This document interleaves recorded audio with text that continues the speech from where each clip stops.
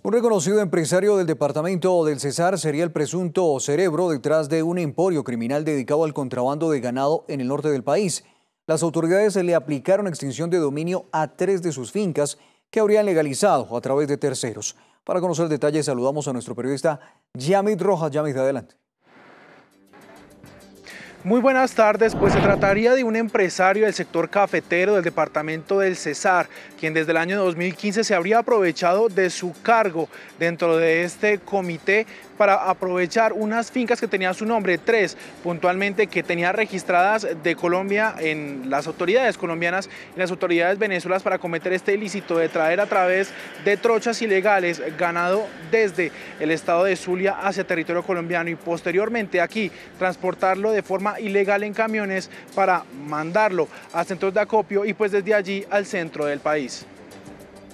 Un exfuncionario de la Federación Nacional de Cafeteros del Cesar, a través de presuntos testaferros, sería el cabecilla de esta red criminal dedicada al contrabando de ganado desde Venezuela hacia Colombia. Está en proceso de judicialización y que fue precisamente la persona a quien se le hizo varios procesos de extinción de dominio, algunos vehículos y algunas de las fincas son de su propiedad. Este hombre, a quien los investigadores aún buscan, se habría aprovechado de su reconocimiento para ingresar bovinos desde el estado de Zulia a tres fincas a su nombre. Lo que hace esta persona es utilizar una red que tiene como centro de acopio eh, la región de Machiques, en Venezuela, lo ingresa hacia el corregimiento La Fortuna en la serranía del Perijá y posteriormente eh, desplazan este contrabando hacia fincas y hacia centros de acopio en La Paz, Codazzi, San Diego, y Valledupar para después ingresarlo al interior del país. Asimismo, el ganado era transportado hasta llegar a zonas de acceso vehicular para luego transportarlos en camiones.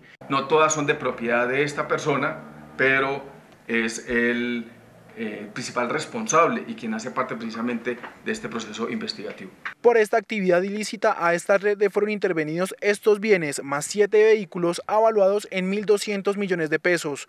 Durante los allanamientos también le fueron incautados 32 cabezas de ganado que finalmente serán sacrificados por no estar aptos para el consumo.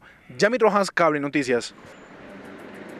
La policía fiscal y aduanera asegura que este hombre, aunque aún permanece en libertad, pues ya lo tienen ubicado y solamente están a la espera de la orden de captura emitida por la fiscalía para realizar el respectivo procedimiento.